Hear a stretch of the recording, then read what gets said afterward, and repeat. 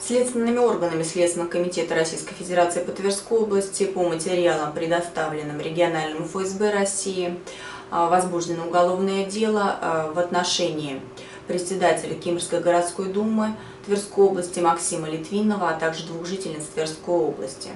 Данные лица, в зависимости от роли каждого, а, подозреваются в совершении преступлений, предусмотренных частью 5 статьи 33 части 2 статьи 285 части 2 статьи 285 Уголовного кодекса Российской Федерации, это злоупотребление должностными полномочиями, а также пособничество в должностными полномочиями.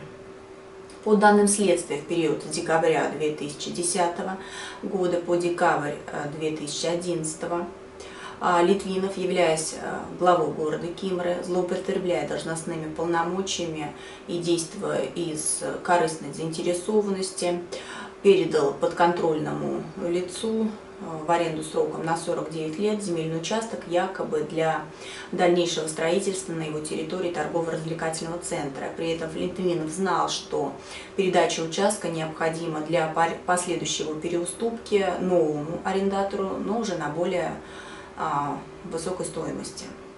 Для совершения данного преступления Литвинов а, вступил в преступный сговор с двумя своими знакомыми, одна из которых в указанный период являлась председателем комитета по управлению имуществом города Кемер, которые уже и организовали заключение договора аренды земельного участка, оплата которой составила в год более 2 миллионов рублей. Однако до настоящего времени а в адрес администрации города Кимры данные денежные средства перечислены не были.